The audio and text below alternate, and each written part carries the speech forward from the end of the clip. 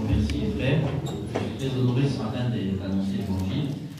C'est la dernière réunion, c'est avec beaucoup de joie que nous faisons. On a été établis pour cela, de toute façon. On a été interdit pour annoncer ce merveilleux nom, le nom de Jésus. Et c'est avec beaucoup de joie que je le fais ce matin. Je remercie les frères, évidemment, l'église pour la part qu'ils donnent. Et que Dieu soit béni pour cette bonne matinée, cette belle engagement. Je ne sais pas, les sœurs certainement qui s'engagent. Alors que Dieu soit béni, c'est le signe d'une bonne santé spirituelle de l'Église. C'est le signe que ça va de l'avant. Si dans le monde rien ne va bien, croyez-moi, et l'avenir qu'il y a dehors, ça ira de moins en moins bien. Au milieu de nous, Dieu a ajouté à l'Église dynamique tous ceux qui croient. Et ça, c'est le résultat de l'œuvre de Dieu au milieu de nous. Dieu se sert de nous, Dieu travaille avec ses enfants, et j'aimerais, j'aimerais nous encourager ce matin à travers la parole de Dieu. Dieu soit béni. Avant de la vie, j'aimerais qu'on puisse Seigneur, demande à Dieu sa grâce. Je suis content, mais je n'ai pas un message spécial. J'ai le message de Dieu tout simplement. Et le message de Dieu, ce n'est pas un message spécial, ce n'est pas quelque chose de, bizarre. Vous savez, j'écoute des fois des gens, des gens qui viennent des réunions, des missions, des séminaires, il faut y aller, il faut le faire, Dieu soit béni, vous encourage. J'ai écouté dire ça il n'y a pas longtemps. J'ai jamais rien écouté de pareil. Jamais écouté ça de ma vie. C'est la première fois que j'écoute ça. C'est bizarre, on va dans la, réunion et qu'on a écouté quelque chose qu'on n'a jamais écouté. Je vais vous prêcher le message que j'ai prêché il y a 2000 ans. Alors vous l'avez tous écouté, on l'a tous écouté, mais c'est le message que nos cœurs ont besoin. On va chercher quelque chose de spécial. De... Non, non, il n'y a rien de spécial en Dieu. Dieu est tellement bon qu'il est venu nous visiter sous la forme de Jésus et il s'est bien notre portée, à notre hauteur, afin qu'on puisse le comprendre. Les choses de Dieu, c'est des choses simples. J'aime bien prêcher. Un jour, un frère m'a dit ça. Il m'a dit ça peut-être. Euh, on me piquait un petit peu, je l'ai pris moi comme un compliment. Il m'a dit quand tu prêches, on dirait que tu parles des petits de 7 ans. Ah, c'est comme ça que je dois prêcher. Je lui ai expliqué comme ça pour que tout le monde comprenne l'évangile. Tu vois, quand on parle, moi j'étais à l'école, je bossais écrit. Tu parles comme des choses. Donc je parle besoin qu'on parle de la lune et des étoiles. J'ai besoin qu'on parle des choses que je comprends. Et ce matin, quand la parole de Dieu touche notre cœur, que Dieu soit béni. Amen. Alors on va prier le Seigneur, on va demander à Dieu sa grâce. Je vais demander, je vais demander au guitariste. Et puis je demande au frère qui est là, qu'il puisse nous présenter au Seigneur et que nous faire grâce. Seigneur, sois béni, béni ce matin. Seigneur, merci pour ce privilège d'être là ce matin, pour cette grâce. Seigneur, ce matin, c'est toi qui comme un instrument. Dispose de ta parole et de l'homme en ta parole, Seigneur, la gloire et l'honneur qui revient à Dieu, parce qu'ils sont uniques, Jésus-Christ, à la ciel.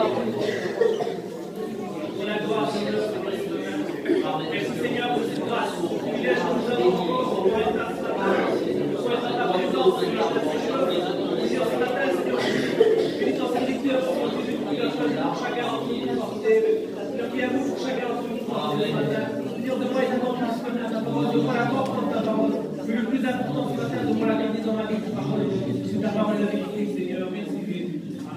Amen. Dieu. Je la parole de Dieu. J'ai donné un thème à mon message ce matin. C'est bien, c'est réjouissant parce qu'il y, a les, il y a les baptêmes ce matin, donc on va parler aux chrétiens, on parle de Dieu, ce matin, Dieu va nous bénir. Il y aura certainement aussi un mot pour ceux qui ne connaissent pas Jésus. Mais il y a une raison de ce qui se passe là. C'est le fruit de la parole. Alors il y a aussi un petit mot comme ça pour nos amis, que Dieu soit béni, afin qu'on puisse grandir ensemble dans la compréhension de Jésus. Amen. Alors le, thème de mon message, c'est ne prenez plus la fuite devant l'ennemi, parce que Dieu vous appelle à des victoires. Dieu vous appelle à aller de l'avant. Et ce matin, la réunion qui est là, c'est pour nous donner la force pour affronter la vie avec tout ce qu'elle contient. Parce que lorsqu'on s'est avec Dieu, Lorsque la sœur s'engage aujourd'hui, et déjà même lorsqu'elle a donné sa, vie à Jésus, lorsqu'elle est, avant de, passer par ce baptême-là, elle a passé par un autre baptême. Elle a, passé par le baptême de la régénération, de la nouvelle naissance. Et c'est ça qui fait qu'elle a été sauvée. Et parce qu'elle a été sauvée, parce qu'elle a reçu ce baptême invisible aux yeux des hommes, mais que Dieu lui a déjà accordé, alors elle publie devant tout le monde par le baptême d'eau qu'elle s'engage dans l'église. Parce que le baptême d'eau, il apporte dans l'église locale. Ce matin, on va prendre la scène avec Dieu. Donc elle est rentrée dans l'église locale. Mais avant, avant, elle a passé par un autre baptême. On appelle ça la nouvelle naissance. Et ça nous fait rentrer non pas seulement dans l'église locale, mais ça nous fait rentrer dans l'église spirituelle, dans le corps du Christ, et ça nous donne accès au ciel. Parce que ce baptême-là ne nous ouvre pas le ciel. Quoi qu'il faut le faire, c'est normal. Mais on ne le fait pas pour aller au ciel. On le fait parce qu'on on va au ciel. Alors on passe par ce baptême-là. Mais le, baptême le plus important, c'est le baptême dans le sang de l'agneau, le baptême de la régénération, que Bible appelle. Et c'est parce qu'elle a fait cet engagement-là. Et alors elle s'engage aujourd'hui, elle va dire ces mots-là, on l'a tous dit, de Jésus, que le suivra dans les bons et les mauvais jours. Elle dit sous la confession de la foi, elle a dit oui. Donc ça veut dire qu'il y aura des bons jours, et ça veut dire qu'il y aura des mauvais jours. Ça veut dire qu'il y aura dans la vie, et qu'on soit chrétien ou pas, de toute façon, ça. Il y, a des, il y a des relevés, il y a des défis à relever, il y a des géants qui se lèvent devant nous, il y a des combats dans la vie. La vie est faite comme ça, chrétien ou pas chrétien, vous savez. Euh, je suis persécuté, mais quand on n'est pas chrétien, il y a des problèmes. Quand on n'est pas chrétien, on a des soucis avec nos enfants. Quand on a des chrétiens, on a des maladies. Quand on a des chrétiens, on est des... Quand on n'est pas chrétien, ben aussi, il y a des choses vie. Et quand on est chrétien aussi. Mais la différence, c'est qu'on a dit oui à Jésus. Et Jésus nous aide à traverser ces problèmes. Il n'a dit pas qu'il n'y en aura plus de problèmes. Parce qu'elle aura des problèmes, la sœur. Elle aura des soucis, comme tout le monde, chrétien ou pas, de toute façon. Mais la différence, c'est qu'elle aura un plus pour les traverser. Alléluia, que Dieu soit béni. Alors, c'est mon message matin, ne prenez plus la fuite quand ça va arriver devant l'ennemi, car Dieu vous appelle à des exploits ce matin. Ceux qui sont nés nouveaux, il vous appelle à des exploits. Et je, vous dis deux mots pour introduire mon message sur la nouvelle naissance ce matin. Parce qu'on peut être là, je, je pèse mes mots en disant ce que je vais dire maintenant. On peut être là, on peut prendre la scène, on peut assister à trois réunions par semaine, et pourtant le ciel nous est fermé. C'est une vérité. Ce qu'il faut, je vous l'explique, c'est d'être de nouveau. Et si les gens s'engagent, c'est parce que déjà au préalable, ils ont fait l'expérience de la nouvelle naissance. C'est pour ça que vous n'êtes pas chrétien, et vous avez dit, mais celui-là, il n'est pas terrible, il n'est pas chrétien. Je vous l'accorde.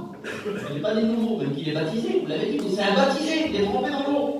Et quand on sort de l'eau, on sort ni plus ni moins que mouillé. Il n'y a rien de magique là. Il n'y a rien qui va se passer. C'est une expérience faire au préalable de la nouvelle naissance.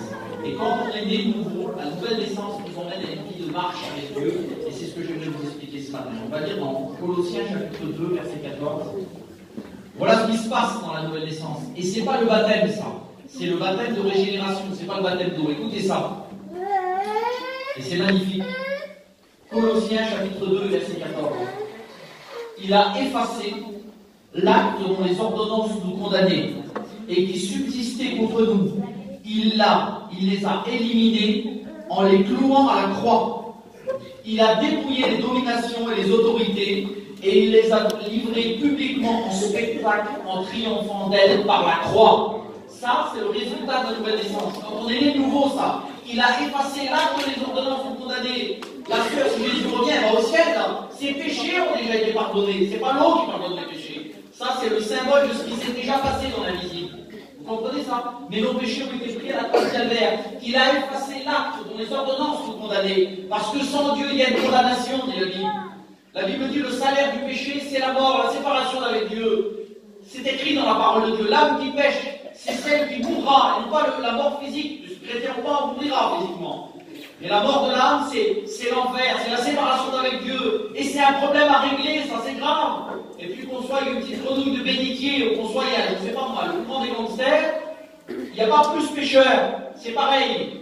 L'âme qui pêche, c'est celle qui mourra. J'avais pas 15 ans, moi. J'avais besoin d'être pardonné. J'avais besoin que, les actes qui subsistaient contre moi étaient condamnés. J'avais besoin qu'ils soient effacés. Et pas qu'ils soient effacés avec un bon avocat, parce que sur la terre, on peut avoir un bon avocat pour régler nos affaires. Mais devant Dieu, il y a un autre avocat qui intercède, qui s'appelle Jésus-Christ. Et il a payé par son sang. Il a effacé l'acte dont les ordonnances condamnaient. Ils ne sont plus là aujourd'hui. Et c'est pour ça que Romains chapitre 8 et verset 1er, il est écrit, il y a donc maintenant aucune condamnation pour ceux qui sont en Jésus-Christ. Eh bien, voilà ce que la nouvelle naissance apporte. Voilà ce que, le baptême de régénération apporte. Un acte qui nous pardonne, qui nous remet à neuf, non pas une amélioration, non pas pardonner de la moitié de nos péchés. La Bible dit qu'il nous a complètement affranchis, il a fait nous des chrétiens, il a fait nous des nouvelles créatures pour ça qu'on peut marcher avec Dieu. Et bien ce soir, peut-être ce, ce matin, excusez-moi, quelqu'un n'a peut-être pas encore fait l'expérience, tu as besoin d'entendre ça. Quel que soit ton péché, Dieu est capable de pardonner, Dieu est capable de te sauver, Dieu est capable de tout effacer, de un redépart complètement à nouveau. Pas une, une amélioration, pas une réparation, une remise à neuf, délivrer de tes péchés. Plus, plus besoin de le faire, plus y être soumis, non seulement être pardonné, mais en même temps d'être délivré. Il a effacé l'acte les ordonnances nous la parole de Dieu. C'est ce qu'on veut voir dans la nouvelle naissance. Et ensuite, je vous lis un deuxième texte, dans l'évangile de l'épître de Jean. Je vais rentrer dans le message, l'épître de Jean, chapitre 3, et le verset 8. Et là, je vais m'adresser en particulier aussi aux chrétiens. Celui qui pratique le péché est du diable. Alors, c'est pas moi qui le dis, ça je suis tranquille, c'est la parole de Dieu. Si vous avez des explications, c'est la Bible. Et vous n'êtes pas content ou content, c'est pas moi, c'est la parole de Dieu. Et on ne peut pas changer, la parole est la parole. Celui qui pratique le péché est du car le diable pêche dès le commencement. Mais le Fils de Dieu parut afin de détruire les œuvres du diable. Quiconque est né de Dieu ne pratique pas le péché. Pourquoi? Parce que la semence de Dieu demeure en lui. Et il ne peut pécher parce qu'il est né de Dieu. Verset 10. C'est par là que se font reconnaître les enfants de Dieu et les enfants du diable. Quiconque ne pratique pas la justice n'est pas de Dieu, ni celui qui n'aime pas son frère. Car ce qui vous a été annoncé et que vous avez entendu dès le commencement, c'est que nous devons nous aimer les uns les autres et ne pas ressembler à Cain qui était du malin et qui tua son frère. Parce que ses œuvres étaient mauvaises et que celles de son frère étaient justes. Ne vous, ne étonnez pas, frères, de ce que le monde vous ait haï. Nous savons que nous sommes passés de la mort à la vie parce que nous aimons les frères. Donc voilà le résultat de la nouvelle naissance. Voilà comment reconnaître quelqu'un de nouveau. Ça ne veut pas dire que la vie dit celui qui est nouveau ne, pratique pas le péché. Ça ne veut pas dire qu'il, je vous l'ai dit l'autre fois, ça ne veut pas dire que ça n'y pas de péché. C'est pas ça. Mais il ne vit plus dans le péché. Il ne pratique pas le péché. Je voudrais dire une, une nouvelle à ma sœur et pour tout le monde aussi qui est là, c'est que sœur, si Jésus revient dans deux ans, dans cinq ans, dans trois ans, dans dix ans, tu pêcheras. Ça t'arrivera. La Bible dit celui qui dit qu'il ne pêche pas, il fait Dieu menteur. Moi, je pêche. On pêche tous. La Bible dit on bronche tous d'une certaine manière. On n'est pas saint. On est saint par le sang de Jésus-Christ. Mais nous, on a besoin de s'efforcer, on appelle ça la sanctification. Mais il y a une différence. Celui qui est né de nouveau, quand il a péché, il ne le supporte pas. Il demande pardon à Dieu, il passe par la repentance et il accepte que le sang de Jésus-Christ le purifie. C'est pour ça ce matin qu'on a besoin de se rappeler que nous sommes sauvés par la grâce et que nous ne sommes pas meilleurs que les autres. Mais il y a une chose, nous ne plaisons pas dans le péché. Si nous avons tombé, eh bien, nous nous relevons, nous partons à Dieu et on s'en éloigne après, parce que ça nous fait du mal, alors on s'en éloigne. Un chrétien, ça lui fait du mal quand il pêche. Et puis celui qui n'est pas né nouveau, ben, ça ne dérange pas du tout. Il peut vivre dans le péché, ça ne gêne pas du tout, vous comprenez ça un jour, un pasteur prêchait sur le poids du péché. Et il y avait un jeune garçon un peu moqueur qui était là. Il a dit Pasteur, pasteur, moi je ne sens rien du tout, je ne le sens pas, le poids de mon péché. Et le pasteur, il a dit Mais mon garçon, si on mettrait 20 kilos sur la poitrine d'un mort, tu crois qu'il sentirait quelque chose? Il dit Voilà ton état devant Dieu, c'est pour ça que tu ne sens pas ton péché. Tant qu'on n'a pas senti que c'était pécheur, on ne pas trouver Dieu. Ce qui vous est fait venir à Dieu, à vous, à moi et à tout le monde. Et c'est parce qu'on a compris qu'on était des pécheurs. Et puis être pécheur, ça ne veut pas dire une gravité pour les hommes sont pécheurs. Ça veut dire qu'on a besoin d'être pardonné. Mais j'ai une bonne nouvelle, Dieu pardonne. Amen. Et après, quand on est né nouveau, bien, on ne pratique plus le péché, nous marchons dans la vérité, on s'améliore. Et c'est le résultat d'un miracle qui s'est passé dans nos vies. C'est le, le, résultat de la nouvelle naissance. Amen. Donc nous vivons des temps, c'est vrai, de difficultés. Il ne faut pas le cacher, c'est écrit dans la parole de Dieu. Des temps, la Bible dans les derniers temps, il y aura des jours parce qu'il y aura de l'adversité, parce qu'il y aura de l'attaque. La Bible dit que Satan est descendu parmi vous animé d'une grande colère, sachant qu'il a peu de temps. Alors c'est vrai qu'il y a des problèmes, c'est vrai qu'il y a des soucis, c'est vrai qu'il y a des difficultés, mais j'aimerais vous dire une chose, les vrais chrétiens resteront debout. N'ayons pas peur, ceux qui sont nés de il nous donnera la victoire, il nous donne la victoire. Ne pensez pas, on a marché depuis longtemps. Il y en a qui a 20 ans, 30 ans, 40 ans qui marchent avec et plus. Vous avez commencé par l'esprit, alors ne finissez pas par la chair. C'est vrai qu'il est dit une partie abandonnera la foi, c'est écrit. Alors on va dire, mais Germain, c'est vraiment un abandonnement que tu restes. C'est écrit une partie abandonnera la foi, oui, mais c'est pas si négatif que ça. Parce que ça veut dire qu'il y a une partie qui l'abandonnera pas. Ça veut dire qu'il y a une partie qui restera debout. Ça veut dire qu'il y a une partie qui sera sauvée. C'est un peu plus placé dans mourir. Moi, je veux faire partie de ceux qui ah, dans l'esprit et de ceux qui marchent jusqu'au bout parce que notre délivrance est plus proche aujourd'hui que lorsque nous avons cru. Nous sommes pas loin des temps et on le sait ça. Jésus va venir chercher. Alors marchons dans la victoire, marchons dans sa victoire. Je, rentre tout de suite dans nos messages. Je fais une introduction qui est un peu longue. je ne veux pas accentuer trop sur le message. Je ne suis pas venu souvent chez vous, c'est la première fois. Accordez-moi le temps que vous donné de Jésus. Alléluia, sans trop non plus prendre trop de temps On va lire dans la Bible 1 Samuel, chapitre 17, versets 50 à 53. C'est l'histoire de David devant Goliath. Vous l'avez écouté des dizaines de fois, mais Dieu m'a donné une pensée un peu différente dans le message. Une pensée qui change un petit peu, et je voudrais vous lire la fin justement de l'histoire, ce qui s'est passé après, on parle de la victoire avec la fronde, mais il s'est passé quelque chose après. Et c'est ce que je voulais vous parler ce matin. Alors on se laisse bénir par Dieu, on se laisse toucher par Dieu, on se laisse entrer dans sa victoire ce matin. Alors lisons la Bible maintenant. Vous allez voir pourquoi je vous dis que j'ai pris le thème du message, ne prenez plus la fuite devant l'ennemi. 1 Samuel, chapitre 17, et on va lire au verset 50 jusqu'au verset 53. Ainsi, avec une fronde et une pierre, David fut plus fort que le Philistin. Il le terrassa et lui ôta la vie, sans avoir d'épée à la main. Il courut, s'arrêta près du Philistin, se saisit de son épée, qu'il tira du fourreau, le tua et lui coupa la tête. Les Philistins, voyant que leur héros était mort, prirent la fuite. Et les hommes d'Israël et de Juda poussèrent des grands cris. Ils allèrent à la poursuite des Philistins, jusque dans la vallée, jusqu'aux portes d'Écron. Les Philistins, blessés à mort, tombèrent dans le chemin de Shaharaïm jusqu'à Gath et jusqu'à Écron. Les enfants d'Israël revinrent de la poursuite des Philistins et ils pillèrent leur camp. Que Dieu soit béni. C'est une belle histoire, vous la connaissez, c'est l'histoire de David et des Goliaths. Et puis là, la Bible nous dit que tout le peuple, non seulement pas le peuple, mais toute l'armée, tous les hommes de guerre étaient effrayés, ils avaient peur. Parce que Goliath se levait pendant 40 jours, chaque matin, chaque soir. Il lançait un défi et ils avaient peur. Et le défi était celui-ci. Il disait Donnez-moi un homme. Et cet homme faisait 3 mètres de haut, avec une armure. Donnez-moi un homme. C'était pas rien. Et l'armée entière, malgré que Dieu était avec eux, ils se rappelaient plus du grand Dieu, du Dieu d'Israël, des victoires qu'ils avaient eues. Ils étaient effrayés. Le peuple était effrayé. L'armée était effrayée. Le roi tremblait de peur. Toute l'armée était effrayée devant ce géant, devant Goliath. Et pas seulement devant Goliath, parce qu'il y avait Goliath, mais il y avait toute l'armée qui était derrière. Il y avait l'armée des Philistins, qui était une grande armée, qui était des hommes armés, les Philistins. Et puis, la Bible dit ceci que David a été sans épée, avec une simple fronde. Et si le texte précise sans épée, parce que c'est important, ça veut dire sans épée, la Bible dit il tua Goliath.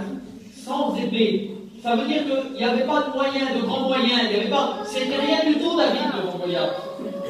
Et j'aimerais vous dire que les choses de Dieu, peut-être, c'est peut-être rien. C'est peut-être rien pour certains. Peut-être que tu ne vois pas grand-chose pour ce matin. Peut-être tu crois que tu n'y arriveras pas, mais je voudrais te dire que ça tient sur le miracle de Dieu. C'est pas à la vue des hommes, c'est pas par les moyens humains. On ne vient pas faire la guerre. Savez, David était plus fort, David, avec une fronde, que, que s'il aurait été avec un char d'assaut, une avion de chasse. Je voudrais vous dire ça, que dans les mains de Dieu, quand on met quelque chose dans les mains de Dieu, je vous ai parlé de notre réveil, souvenez-vous de notre mission, elle est avec un petit prospectus de rien, de rien du tout. Eh bien, peu devient beaucoup quand Dieu s'y trouve. Et puis David marche au nom de l'éternel. Et c'est comme ça qu'il doit marcher. Il n'y avait pas grand moyen, il n'y avait, rien en réalité. C'était un petit jeune garçon et même Goliath va se moquer de lui. Et puis suis-je un chien que tu viennes devant moi avec un bâton il aurait, il aurait, humainement parlant, il n'avait pas une chance, Goliath. Euh, David, il était mort. Il n'avait pas une chance. Mais quand Dieu est avec un, peut-être que le monde dit qu'il n'y arrivera jamais. Peut-être que ton péché te dit qu'il n'y arrivera jamais. Peut-être que le diable te dit qu'il n'y arrivera jamais ce matin. Mais si tu marches au nom d'éternel, sans épée, sans moyens humains, la Bible dit que les hommes du monde s'appuient sur leurs chars et sur leurs fortes armées. Nous, nous nous appuyons sur l'éternel. Et l'éternel est avec nous ce matin. Et j'aimerais encourager l'Église. Il est avec nous, il est fidèle. Et il a remporté la victoire parce qu'il est le Fils de Dieu. Vous savez, lorsqu'il vient, Jésus, et puis que la première étape, juste sort de son baptême, et la Bible dit qu'il fut conduit par l'Esprit. Vous voyez, c'est le Saint-Esprit qui l'a conduit là. Il fut conduit par l'Esprit, Matthieu chapitre 4, dans le désert pour être tenté par le diable. Parce que ça arrive la tentation. Et pendant qu'il est là, le diable vient tenter de plusieurs façons. On connaît l'histoire. Et il lui dit un mot. Il lui dit Si tu es le Fils de Dieu, ordonne que ces pierres deviennent du pain. Mais le texte original, c'est pas si tu es le Fils de Dieu. C'est puisque tu es le Fils de Dieu. Puisque tu es le Fils de Dieu. Vous comprenez? C'est-à-dire que le diable savait très bien qu'est-ce qu'il en face de lui. Alors, puisque tu es le Fils de Dieu, tu vas faire un miracle. Tu vas faire, que ces pierres deviennent des pains. Vous croyez que Jésus n'aurait pas pu faire, ça? Bien sûr que Jésus aurait pu faire. Mais Jésus se présente devant le diable sans épée, sans miracle, juste avec la parole de Dieu. Il dit, il est écrit, l'homme ne vivra pas de pain seulement, mais de toute parole qui sort de la bouche de Dieu. C'est-à-dire que le diable voulait que Jésus montre sa divinité, qu'il fasse un miracle. Mais Jésus l'a combattu et a triomphé de lui sans jamais lui montrer sa divinité. Il l'a combattu comme un, comme un homme. Il a été à la croix comme un homme. Et il est mort comme un homme, sans commettre de péché. Et il a triomphé du diable comme un homme. Il n'a pas vaincu le diable étant Dieu. Bien sûr qu'il était Dieu, Jésus sur la terre, il est divin. Et quand il se combat contre le diable, vous ne verrez jamais Jésus montrer sa divinité au diable. Il a montré sa divinité à des hommes. Il a fait des miracles pour les hommes. Il peut faire des miracles pour toi. Vous savez pourquoi il a vaincu Satan comme un homme et qu'il a triomphé de la croix comme un homme pour entraîner des hommes dans sa victoire? Et j'aimerais vous dire que si un homme a peur de la victoire, c'est pour l'accorder à des hommes. En voulant dire, tu as été détrôné, roi par un Dieu. Satan a été détrôné. La Bible dit qu'il a dépouillé les dominations. On l'a vu dans le texte qu'on a lu. Et non pas par un, par un, par, un Dieu, mais par un homme. Oui, puisque tu es le Fils de Dieu, ordonne que ce pierre devienne du pain. Eh bien non, le diable n'aura jamais droit à un miracle mais les enfants de Dieu ont droit à un miracle. Il a triomphé par la croix comme un simple homme, dit la Bible. Alors je veux dire que ce n'est pas devant les moyens humains, oui. Tout simple, sans grand moyen de beauté, Jésus a triomphé par la croix. Et surtout, il a triomphé par la croix, mais il a entraîné le peuple dans sa victoire. Et c'est ce qui s'est passé avec David, puisque David est, le type de Jésus. David est appelé, vous savez ce que veut dire David? Il y a peut-être des David parmi nous, c'est un nom merveilleux. David veut dire celui que Dieu a aimé. Le bien-aimé de Dieu, ça veut dire Et souvenez-vous que Jésus est appelé comme ça par Dieu, juste après son baptême. Il n'y a que deux personnes qui portent ce nom-là David. David, son nom veut dire le bien-aimé. Et Jésus, quand il sort du baptême, Dieu va dire de lui, voici mon fils, le bien-aimé. Il l'appelle de la même façon. Nous sommes devant, devant le type du Christ, si vous voulez. Là. Et, quand, et, quand, et quand, quand, il remporte la victoire, c'est l'image de la croix en réalité, Goliath. Et puis, la Bible dit cela, je ne sais pas si vous avez fait attention au texte, mais, quand il remporte la victoire, David, alors qu'est-ce qui se passe? Eh bien, il redonne de la, de la force à son armée, il redonne du courage à tout son peuple, il redonne de la force, de l'espoir à tous ses frères, il leur redonne le courage, parce qu'il a vaincu Goliath. Et la Bible dit qu'ensuite, vous avez vu, on a lu à partir du verset 50, 52 et 53, la Bible dit que les hommes d'Israël se sont levés. Autant ils étaient dans la peur, dans la crainte, et quand, quand, quand, quand, leur berger, comme David, comme Jésus, si vous voulez, a triomphé de l'ennemi, alors la Bible dit que toute l'armée s'est levée. Il n'y avait plus de crainte, il n'y avait plus peur. Je dire, pas avoir peur, de peur et de crainte ce matin. Il a triomphé pour toi. Et la Bible dit qu'ils ont couru derrière l'armée des Philistins. Et les Philistins ont pris la fuite. Et ils ont couru, ils ont massacrés, ils ont exterminés. Ils les ont massacrés. Pourquoi? Parce qu'il avait eu la victoire sur Goliath. Eh bien, j'aimerais dire que tu peux te lever, Église de Dieu, ce matin, et courir pour ta victoire, parce qu'il a triomphé. C'est vrai tu n'y arriveras pas, c'est vrai que tu n'as pas la force. Mais lui, il a la force, quels que soient les défis qui, sont, qui sont devant vous ce matin. J'aimerais vous dire que Jésus a combattu pour vous, et qu'il combat pour vous, et qu'il vous donne non seulement pas la victoire, mais qu'il vous donne le moyen de vous avoir la victoire. Vous savez, souvent on se passe comme ça, mais c'est pour remarquer autrement la Bible. Et puis on dit, Seigneur, enlève cette montagne. On voudrait que Jésus le fasse, alors que ce n'est pas à lui de le faire. Jésus dit, si tu la foi comme un grain de levé, toi tu diras cette montagne ici, elle sortira. Dieu nous a donné la victoire et je veux encourager l'Église, je veux encourager les ministères. Nous avons reçu de Dieu. Jésus a dit, allez et guérissez les malades. Comprenez Donc le ministère nous a pas que nous avons un pouvoir nous-mêmes de guérir, mais le ministère qu'on a reçu nous permet de déclarer la guérison à travers la croix. Et il faut le croire, ça. Il faut le croire, il ne pas croire que Dieu guérit plus. Dieu guérit encore. Et les ministères ont été placés pour apporter la guérison, pour sauver les âmes à travers la parole que nous prêchons, mes frères. C'est vrai qu'on pas fait de grande école. Et celui qui vous parle, c'est le premier ce matin. Mais ça ne repose pas sur des discours persuasifs de la sagesse humaine. Nous prêchons l'évangile, la puissance de Dieu. La Bible dit que nous marchons sur les scorpions et sur les serpents. Mais pourquoi vous dire tout ça ce matin Parce que je voudrais que vous puissiez prendre valeur, prendre conscience de qui vous êtes ce matin. Vous êtes des chrétiens vous êtes les nouveaux, et vous avez la victoire en Dieu. Alors ce matin, prenez courage. Il a triomphé, toute l'armée a repris courage, et tout le peuple a repris courage. Les hommes d'Israël et de Juda poussèrent des cris, dit la Bible, quelle beauté. Ils pas dit on a la victoire, vous savez comme ça, ils ont poussé des cris, ils se sont... et ils ont couru derrière l'ennemi, quelle beauté. Ils marchaient dans la victoire de David. Il marchait dans la victoire de David. Eh bien, marche dans la victoire de Jésus. Marche dans la victoire de la croix ce matin. Quel que soit ce qui se dresse devant toi. Ça qu'on dit souvent ça, on confond deux choses. C'est vrai, on est un peu comme ça, on confond deux choses. On confond l'humilité et la peur. On dit il n'est pas humble, il n'est pas il a peur. Il n'est pas humble, il, il a peur de tout. C'est pas, pas ça l'humilité. J'ai croyé Jésus qui est orgueilleux, C'est orgueilleux, Jésus. Et pourtant, il était plein d'assurance. Vous savez, je suis pas orgueilleux, moi, ce matin. Mais je sais en qui je crois. Et le frère, m'a dit un petit mot quand je le sais, et je lui ai dit, je lui ai dit, je suis bien accompagné ce matin. Je sais en qui j'ai cru. Je sais qu'il est avec moi ce matin. Ayez cette assurance qu'il est avec vous, quels que soient les besoins, les défis que vous êtes confrontés à, affronter. Il est avec vous. Il victoire ce matin. Et ils ont couru derrière l'armée. L'armée ennemie, ça c'est l'Église, il nous a donné la victoire à la croix du calvaire. Et nous, on marche dans sa victoire. Et ils ont combattu les Philistins jusqu'à une ville. Et pas n'importe quelle ville. La ville d'Écron. La parole. Et Écron, vous savez ce que ça veut dire? Écron, ça veut dire extermination. Ça veut dire extermination. Et cette ville-là, la ville d'Écron, était attribuée, vous lisez ça dans la Bible Josué chapitre 15 et verset 45, quand le partage des terres a été fait en Israël, elle avait été attribuée à une tribu. Ça veut dire 12 tribus en Israël. Écron était le territoire de la tribu de Judas, pas n'importe quelle tribu. Et vous savez ce que veut dire Judas Le mot Judas, parce que nous, Judas, on voit souvent Judas, celui qui a trompé Jésus, mais c'est pas celui-ci. Il y a plusieurs Judas, d'abord Jésus est appelé le lion de la tribu de Judas. Le mot Judas veut dire louange. C'est magnifique. Donc, cette ville-là était ville attribuée à la louange. C'était leur ville à eux. Mais le diable avait pris Judas, il l'avait chassé ça. Il avait exterminé la louange. Le diable avait pris pied, il avait exterminé la louange. Et il y a trop de chrétiens où il n'y a plus de louange dans leur vie. La louange n'existe plus, elle a été exterminée. On loue plus Dieu.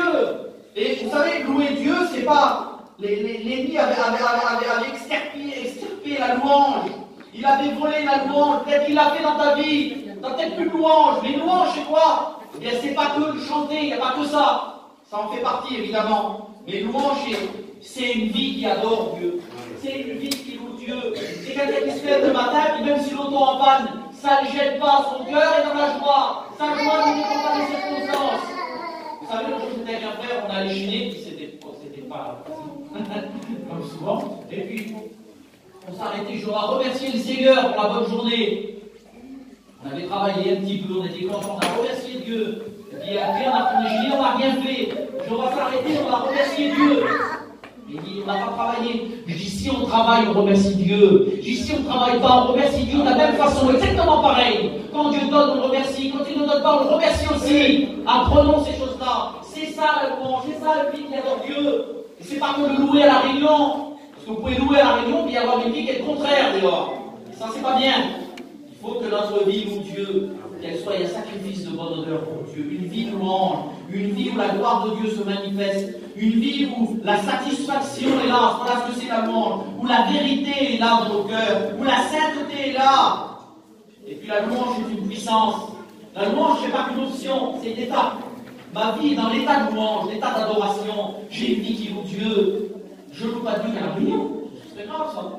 On le louerait très peu sinon. Vous devez. Vous savez, quand personne ne te voit, que tu as pris une décision, que tu montes chez toi, on marquerait dans la Bible que tu fait le secret. La Bible dit quand tu pries. C'est marqué comme ça, quand tu pries. C'est pas marqué si tu arrives de prier. Hein. Ou si de temps en temps tu trouves le temps de prier. C'est quand tu pries. Donc la vie, c'est une vie chrétienne, c'est une vie de prière, obligatoirement ferme ta porte. Pas besoin de crier au secours. Passe du temps à prier. Ça, c'est une vie qui adore Dieu. Il y a la réunion dimanche. Et eh bien, le samedi soir, un peu d'année, parfois devant Dieu. Et puis, prie pour la réunion demain.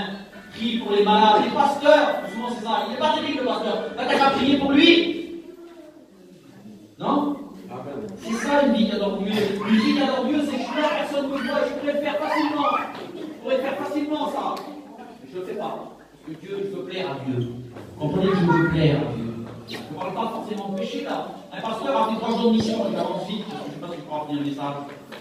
Un pasteur a fait trois jours de mission, il était invité, il a fait, il deux jours de mission, il a fait samedi, dimanche. Par exemple, je fais deux jours Dieu. Et puis le dimanche après-midi, alors qu'il était encore là, Le pasteur de l'église a dit Frère, c'est dommage, vous êtes là, vous avez de réuni. J'ai dit Frère, je n'ai rien préparé, je ne vais pas préparer un message. Il dit Frère, vous êtes là, faites-vous la réunion. Il dit Tout le monde ici. Dimanche. Et le dimanche, vous savez sur quoi il a prêché Sur la sainteté, sur la sanctification. C'est des que les gens ont plutôt écouter ça.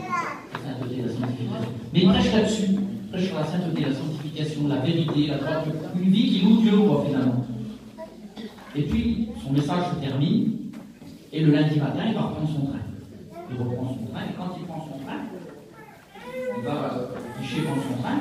Et le billet est la moitié, ou même plus là, moins cher que ce qu'il avait payé pour aller. C'est bizarre. Il y en a qui auraient dit, tant mieux pour C'est bizarre, comment ça se fait qu'il a pu se tromper. On a tourné pour affaire la TCM. Il dit, madame, excusez-moi, je viens de telle ville et je vais à telle ville. Il dit, il y a deux jours en arrière, j'ai fait le même trajet de telle ville à telle ville, mais vous avez peut-être fait une erreur, parce que c'est la moitié, beaucoup moins de la moitié du prix. Je voudrais savoir si c'est bien ce prix-là. La dame a dit, oui, je le sais, j'ai fait exprès. C'est volontaire. Écoutez, je, vais payer ce que je dois, n'y a pas de problème.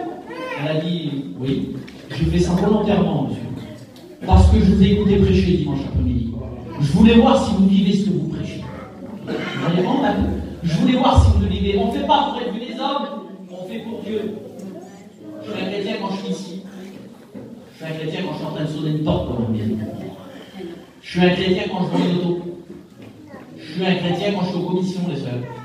Je suis un chrétien quand je suis avec les petits qui, me mangent et qui me narment. Je suis une chrétienne. Je suis une chrétienne. Parce que des fois, il faut faire attention. Des fois, on n'écoute pas toujours des paroles de louange dans les bouches. Hein il y a un frère, une fois, je, me suis permis, parce que je connais bien, un chrétien. Et puis il vendait, il, vendait, il vendait son camion, il faisait faire une affaire terrible à notre petit garçon, soit Des fois, je était très fort. Et Zinda, c'était un petit étudiant. Il dit ça, comme ça, il vend le petit garçon, oui, oui, d'accord, il a reparti. Je dis, tu as dit au garçon qu'on voit quand tu bruit ton camion Ben, ben, tu as dit ou tu n'as pas dit que l'embrayage est mort il faudra changer, faut changer le volant moteur Je dis, as dit ou pas? Ben, dit, si je dis ça, je ne rends plus le camion. J'ai le droit, je te promets, je te promets. Quand le garçon arrive, je dis, moi je dis. Le vivant, c'est une chose, tu vends le prix que tu veux, tu fais un bon prix, il faut dire ce qu'il a. Il faut dire ce qu'il a, le camion. Je dis maintenant, se trouve, tu vends un camion qui casse, parce que t'es pas le camion non plus. Hein. Mais je suis un chrétien, quoi. T'es un chrétien et lui, c'est un étudiant. Alors, faut, avoir une vie qui vous Dieu, pas qu'à la raison. Hein. Tu, toi, t'es le musicien d'église. Hein. T'es le musicien d'église, tu dois dire au garçon ça. Mais dis, si tu fais ça, tu plus jamais. Je m'occupe pas de, faire ça ou pas. Je l'avais dit, il faut avoir une parole droite. Un homme honnête, que c'est beau, Mais si en Dieu, on n'est pas des hommes honnêtes, si on n'est pas des femmes honnêtes, on dit, ça va, on va être en danger alors. Tu dis quelque chose à quelqu'un, c'est bien comme ça, ben, euh, je ne sais pas. Non, mon frère. Je prends mon moto à Marcousine. À 150 000 km, alors il faut changer les plaquettes. Dis-moi, il faut changer les plaquettes. Je vais t'acheter quand-même, mais je vais le savoir, moi. Je vais changer les plaquettes. Vous comprenez ça Alors j'avais dit ça à ce frère, ça l'a surpris énormément. Ça l'a surpris énormément quand j'ai dit ça. Il était même vexé en colère. J'ai un jour, tu me remercieras pour ça. Je sais parce que je t'aime, je te dis ça. Je ne peux pas avoir un conflit, je ne peux pas avoir un problème, ça se fait par des chrétiens. On est des chrétiens. Ce qui sort de notre bouche doit correspondre avec ce qu'il y a dans notre cœur. Si je prêche la vérité ce matin, je dois la vérité de l'homme. Vous êtes d'accord avec ça? Alors c'est aussi ça, une vie qui vous tue et une vie qui adore que Dieu soit béni. David n'a pas pu terrasser Goliath pour donner l'espoir seulement à sa famille. Non, non, non. C'était l'espoir pour tous les hommes que Dieu soit béni. La victoire est pour nous ce matin. Ils ont été jusqu'à Écron. Et puis, la louange n'était plus, la satisfaction n'était plus, les dommages, la joie n'était plus là. Et pourtant, la Bible nous parle de la, de la louange comme une puissance qui libère. C'est une puissance, la louange. La Bible dit à un Israël va partir en guerre et Dieu va parler. Enlevez les archers de devant. Devant, il les archers, quoi. Les hommes avec des épées. Il dit enlevez. Il dit mettez tous les chanteurs. Il dit mettez tous les chanteurs et venez chanter des louanges. Ils auraient fait un chanteur, un chanteur devant une armée, La Bible dit que quand les l'ennemi en face, ils ont écouté les chants, ils se sont sauvés. Parce que la louange est une puissance qui libère. Tu veux être libéré, loue Dieu. Arrête de te focaliser sur ton problème, sur ton souci. Loue Dieu, loue Dieu, loue Dieu. Et tu verras la bénédiction tomber sur ta vie. Trop de chrétiens vivent dans cette faiblesse. Pourquoi? Parce qu'il n'y a plus de louange. Ça va jamais. Ça va jamais. Nous la figure qui est par terre. On le sait qu'il y a des problèmes dans la vie. Vous avez vu, il y a des gens qui ont des enfants malades, il y a des gens qui ont des enfants en prison, il y a des gens qui passent par des tas de problèmes. Ça va faire, oui, ça. Que Dieu soit béni avec la grâce de Dieu. Vous avez l'autre, la route crevée d'auto, c'est quand il voit, et puis en personne d'attaquer. Ça va passer, oh, oh, je suis persécuté, c'est ça, frère. Quand par contre, j'ai pas eu ma prise de 10 ampères, il y a 6 ampères, ah, on va faire, on va faire, c'est une direction. Il ne rend pas compte de la persécution que j'ai mon frère, moi, dans l'église à Bayonne. Ah bon? Il y a deux mois que j'ai pas rendu témoignage. On va témoignage tout à dehors. Quelle persécution, disons. On est persécuté. Remettons les pendules à l'heure. Et dit Dieu, glorifie Dieu comme un parfum. Vivons dans la joie. Je juge chapitre 19, verset 43. La joie de l'éternel sera. La joie de l'éternel sera votre force. La joie donne de la force. Il faut un cœur joyeux est un bon Bible. Il y a un esprit abattu et comme la caresse dans les os, ça fait mal. Eh bien, la joie de l'éternel est notre force. C'est ça notre force, c'est la de béni. Alors, on a besoin de dans la. Et puis ensuite, ville qui avait été reprise, et puis ensuite elle avait été réattribuée à une autre tribu. Et on l'a réattribuée à une autre tribu. On l'a attribuée à la tribu, quelle tribu? On l'a attribuée à la tribu de Dan. La louange est On l'a attribuée à la tribu de Dan. Et Dan, vous savez ce que ça veut dire? Dan veut dire, je vous dis pas en, hébreu, parce que je parle, parle, parle pas hébreu mais je vous dis la signification que ça sert rien que je parle en hébreu ou en grec, c'est comme moi ce matin. Il n'y a pas de ministre, je crois pas. Il n'y a pas de docteur, je crois pas. Les sœurs, vous êtes comme- Vernon finalement, je suis chez moi. Quoi. Hein, donc on a réussi, on a un peu de réussite. Mais je sais pas, il n'y a pas un avocat au milieu de nous.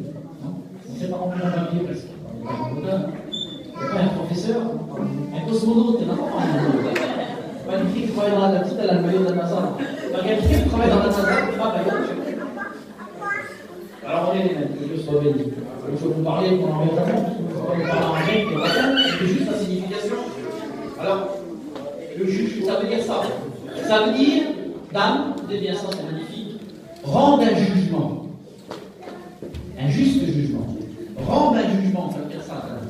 Eh bien, j'aimerais te dire, oui, c'est vrai, un jugement est tombé pour toi. Vous savez que le jugement est tombé, on ne sait pas.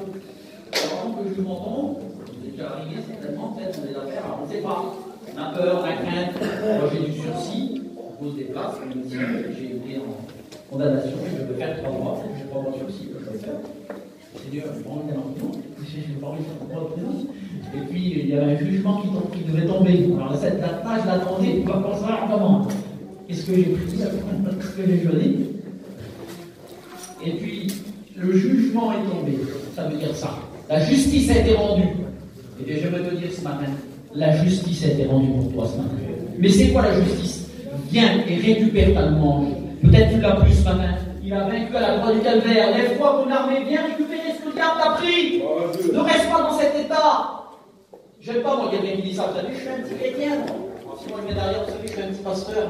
Tu as prié pour moi, mais c'est pas sûr qu'il va guéri. Ben, reste assis, mon frère. Si t'as pas la foi pour prier pour un malade, reste assis. Un frère connaît la parole, il va te dire Vous savez, je vais mon petit j'ai pas trop de messages. C'est pas un étudiant. Il côté de moi, je dis Frère, tu m'aurais laissé, moi, je j'avais un message. Ah, je suis garanti, j'avais quelque chose à dire.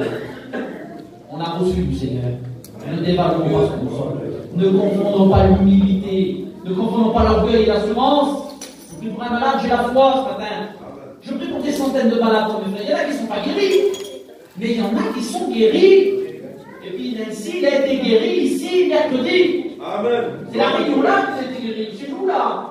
Il n'y a pas de réunion spéciale. On a prié ensemble, il n'y a pas de spéciale. Mais il a été guéri. Il n'y a plus rien. Les CHSC, ces- aires médicales ont disparu. C'est- Ça n'existe pas, ça. Ces aires médicales ont disparu. Pourquoi? Parce que Dieu combat, parce que la victoire est donnée. Alors marchons dans cette victoire. Courons dans cette victoire. Seigneur soit inoublié. Mais bien sûr que vous n'êtes pas capable. Pourquoi vous êtes capable Parce que vous avez porté une cravate comme moi, c'est ça Un vrai costume Mais c'est pas ça C'est Dieu qui vous rendra capable, mes frères. Vous allez y arriver avec Dieu. C'est Dieu qui va vous armer, c'est Dieu qui va vous équiper. Heureusement, pourquoi il vous a choisi dans vos yeux Parce que vous connaissez bien votre Bible. Il nous a choisi parce que nous sommes humbles. Et c'est lui qui nous a armés matin. Nous savons en qui nous avons cru. On n'est pas n'importe qui. Je ne voudrais pas vous, vous, vous charade, c'est pas ce que je veux dire. hein. On n'est pas n'importe qui. Parce que Dieu ne fait pas n'importe quoi. Parce que le diable voudrait coller une étiquette sur ta vie. C'est ce qui s'était passé pour l'armée. Il avait collé une. La défaite, la peur, la crainte. Il y en a qui meurent pour s'engager ici, là. Mais ils ont une peur, c'est même pas la peine. La crainte, la défaite, le qu'en dira-t-on Mais plein, plein, plein d'étiquettes.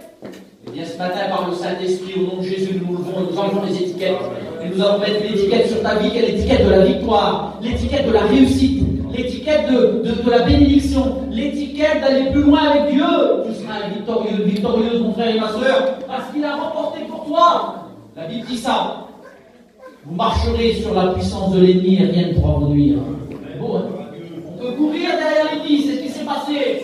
Ils ont couru derrière l'ennemi, ils ont été récupérés qui leur appartenait parce que le jugement est tombé.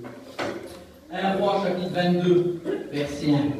Je vous lis, juste ça vite fait. Et à un moment donné, le roi d'Israël et le roi de Juda, ils se rencontrent.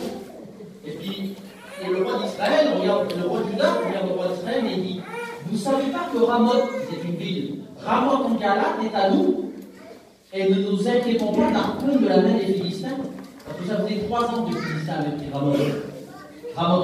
Et selon le Deutéronome, c'était pas n'importe quoi comme ville. C'était une ville de refuge. C'est-à-dire que quand quelqu'un devait mériter la mort, il allait se réfugier, il conservait la vie dans cette ville. Et l'ennemi avait pris cette ville de refuge. Peut-être que l'ennemi t'a pris ta ville de refuge. Il y a combien de temps n'as pas rentré dans la présence de Dieu? Rappelle-toi des moments de prière, des moments de grâce où l'Esprit était sur toi, tu peux te auto, tu chantais, le Saint-Esprit te remplissait, où tu te mettais chez toi, tu revenais de tes commissions, tu faisais tes affaires, tu étais en train de prier, t'écoutais tes cantiques, ma soeur, tu faisais le ménage, tu étais rempli de Dieu, tu parlais en langue. Et aujourd'hui, où est ces moments-là? Et le roi dit à l'autre roi, il dit, il a dit, on resta trois ans sans qu'il y ait de guerre entre la Syrie et Israël. Ben hein. Ils il n'y avait pas de guerre. L'ennemi avait pris leur ville et il s'en- occupait plus. Bien, je ne sais pas ce que l'ennemi t'a pris ce matin, mais on va aller ensemble le récupérer. Peut-être qu'il t'a pris la prière, peut-être qu'il t'a pris la lecture, la parole au Dieu, la joie de chanter, de vivre avec Dieu. On va récupérer ces choses ce matin. Vous le croyez ce matin? Nous avons un Dieu tout-puissant, nous sommes au service d'un. Alors la parole de Dieu nous dit ces choses-là, que Dieu soit béni. Viens récupérer ta louange ce matin. Viens récupérer ta joie. Viens récupérer ta paix ce matin. Viens récupérer ta force. Viens récupérer ta vie de Dieu ce matin. Et puis, peut-être que tu vas me dire ça. Parce que j'ai. Vous savez, quand on médite la parole de Dieu, on pense à ce que les gens vont, comprendre de ce qu'on dit. Parce qu'il faut dire les choses que les gens comprennent. Alors moi, je me mets toujours comme si c'est moi qui prêche un problème. Alors, peut-être que tu dis c'est beau ce que tu dis, matin. Mais moi, je dis. Moi, je n'ai pas la force. Moi, je suis sans force ce matin. Mais tu n'y arriveras pas, j'ai une bonne nouvelle pour toi. Tu n'y arriveras pas tout seul, c'est vrai. Tu n'y arrivez pas non plus. Je vous lirai ça dans Juge chapitre 1, verset 3. Je vous lire le même chapitre, verset 47. Alors Judas n'y arrivait pas. Vous savez ce qu'a fait Judas? Quand c'était la loi, Judas, il a été trouvé un de ses frères qui s'appelle Siméon. Je vous fais pas lecture, vous lirez, Juge chapitre 1. Il a dit Siméon, mon frère, Siméon, Écron est à moi. J'arriverai pas à le récupérer tout seul. Il dit Viens avec moi. On va combattre nos ennemis ensemble. Et il dit Après, moi aussi, j'irai avec toi. Et on combattra tes ennemis ensemble. Quelle belle association. Quelle belle unité pour aller combattre. Et c'est qui? Eh bien, c'est Judas, louange, avec son frère Siméon. Vous savez ce que ça veut dire, Siméon? Écoutez bien, j'ai une bonne nouvelle pour vous ce matin. Siméon veut dire ça. Celui qui a été entendu. Et bien, quand on s'associe ensemble, la prière est exaucée. Tu vas venir récupérer ce que le diable t'a pris ce matin. Il a été entendu, alors reprends courage ce matin. La victoire est complète. Écron, c'était une ville qui avait aussi gardé l'arche. Ils avaient gardé l'arche. Ils avaient chopé l'arche et ils l'avaient mis à Écron. Selon la parole de Dieu dans la Samuel chapitre 6. Et vous savez combien de temps que l'arche, ça représentait la présence de Dieu, la vie de Dieu L'arche était restée à Écron, vous savez combien de temps parce que peut-être que l'ennemi a eu des victoires, mais qu'il t'a mis à terre. Il y a peut-être ce que l'on appelle des rétrogrades parmi nous. Pendant six mois, Six mois, l'arche était prisonnière. Pendant six mois, il n'y avait plus la présence de Dieu. Pendant six mois, il n'y avait plus de miracle. Pendant six mois, il n'y avait plus de prière. Pendant six mois, il vivait dans la défaite. Mais la Bible dit que l'arche, au bout de six mois, elle est revenue au peuple de Dieu. Je te dire que ça peut faire six mois, un an, trois ans, deux ans. Tu peux revenir ce matin. Et l'arche peut revenir dans ta vie ce matin. Vous savez, la Bible dit si ton frère a tombé, si ton frère a péché, c'est marqué comme ça, ton frère a péché, ou s'il a tombé, vous remarquerez, c'est pas marqué va et achève-le. Va et finis-le. Hein. Parce qu'il y en a qui ont tendance à faire ça. Hein. Oublie pas que toi qui es debout, demain tu peux être à terre aussi. Tu auras besoin des autres. La Bible dit si ton frère a tombé, va et relève-le. Alors ce matin, je voudrais vous relever ce matin. Je voudrais vous encourager ce matin. Gloire à Dieu, l'arche est revenue au peuple. Et on va conclure le message. Parce qu'il y a une deuxième idée du message. Une deuxième face, si vous voulez, du message. C'est qu'on a vu que la victoire, c'était David, c'était le symbole du Christ à la croix du Calvaire. Il a combattu et il a donné la victoire au peuple, il a redonné l'espoir, le courage, la force au peuple. Et le peuple a pu marcher dans sa victoire à lui. Eh bien, j'aimerais dire aujourd'hui que toi, mon frère, toi, ma soeur, que tu rentres tout de suite dans les autres batailles, tu es devenu un David de ta famille. Tu dois emmener ta famille dans ta victoire. Tu dois emmener, je ne sais pas, si, tu as des enfants, tu dois les emmener dans ta victoire. Si tu as, si de la famille, père, mère, frère, cousin, tu dois les emmener dans ta victoire. C'est l'Église maintenant qui est la victoire pour les gens du monde. Jésus est pas sur la terre, il est sur la terre en tant qu'esprit. Il travaille au milieu de vous. Mais c'est pas comme il était avec son corps, comprenez ça? Alors qui représente Jésus sur la terre? C'est l'Église. Et qui doit entraîner les gens dans la victoire? C'est l'Église. Qui a entraîné les gens dans le salut? C'est l'Église. N'oubliez pas que Jésus est la tête, il est au ciel. Qu'est-ce que nous sommes? Le corps du Christ, la Bible. Et Jésus travaille avec quoi? Avec son corps. C'est à vous d'aller les sauver.